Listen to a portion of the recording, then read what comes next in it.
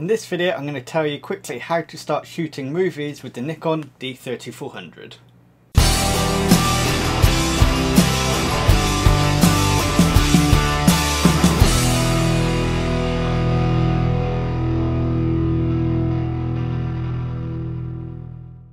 So shooting movies with the Nikon D3400 is actually really simple. There's only a couple of steps that you need to do to get started and I'm going to show you how to do them now. So the very first thing we need to do is turn the camera into live view, which you can do by pressing the LV button on the back of the camera. Once you've done that, you'll see the rear screen showing exactly what you'll be able to see through the viewfinder. What you'll also notice on that rear screen is it gives you quite a good indication of how bright your subject and scene are going to be.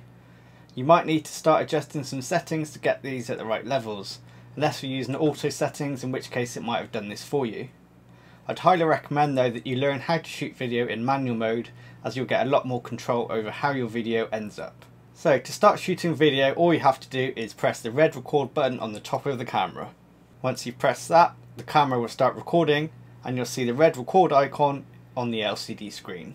To stop recording all you have to do is press the red button again.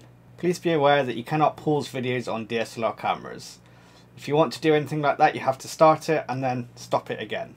You then have to join the clips up in post-processing during your editing process. I prefer to shoot videos in manual mode, this gives me a lot more control over how the video ends up. What I would recommend you do is put the camera into manual mode and then set your aperture to the lowest that it can go. This will give you a lot of light into the camera and also give you that nice blurry background look. You'll need to manually set your shutter speed as well. If you're shooting at 24 frames per second then I recommend you use a shutter speed of about 1 60th of a second you're shooting at 60 frames a second, then I'd recommend something like 1 1 2 of a second. You may find that your video is still a little bit dark if you don't have enough light, in which case you can raise the ISO to get your exposure looking good and your videos looking clean and crisp. The important point of video is the focusing. Now unfortunately Nikon DSLRs aren't all that good at autofocusing.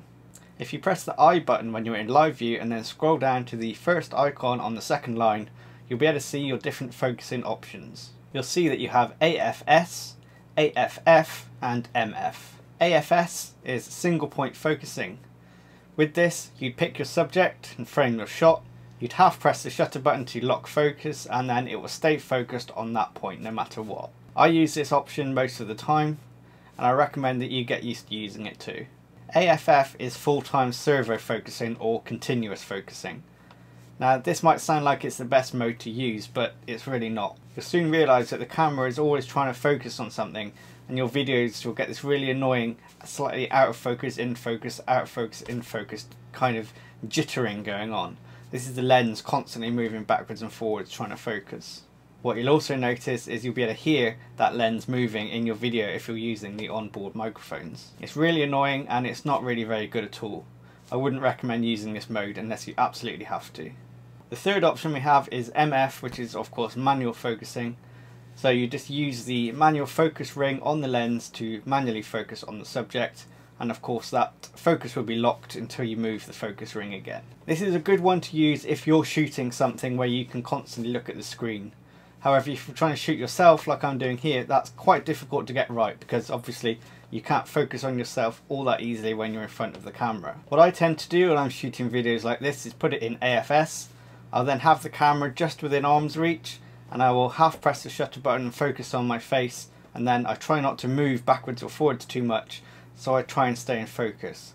It doesn't always work and it's not the best option but with Nikon DSLRs really it's the only way you can do it. If you do want to use AFF then there's some more options you can choose in the menu to help you. If you press the I button again and scroll down to the bottom row and then go across one you'll see you've got several different area focus modes. The first one we have is face priority AF. What this will do, it will try and track faces in the scene and keep them in focus. Bearing in mind it's not all that accurate and you will get that backwards and forwards jittering focus that I mentioned just now. The second option is wide area AF. What this will do, it will track anything that comes into the frame within a wide area across the centre of the frame. This could be people, dogs, cats, anything that comes into that frame the camera will try and focus on. So again, you'll get that jittering backwards and forwards trying to focus kind of look.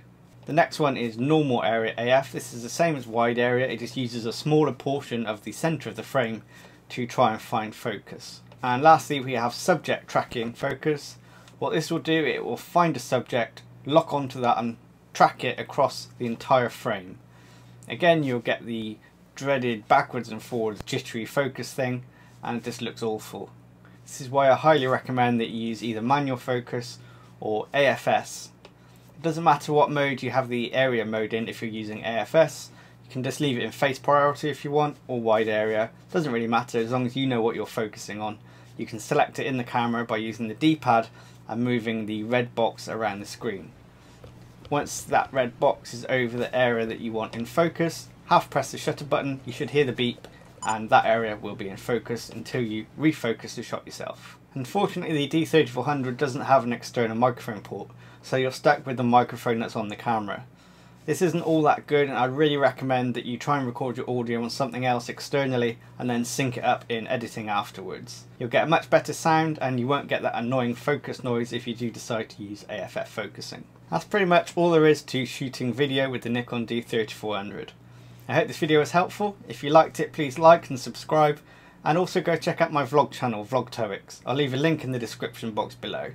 There you better see behind the scenes looks at the videos, get sneak peeks at all the gear that I'm about to use and review, and also see what I get up to when I'm not shooting videos. Thanks very much guys, and I'll see you all next time.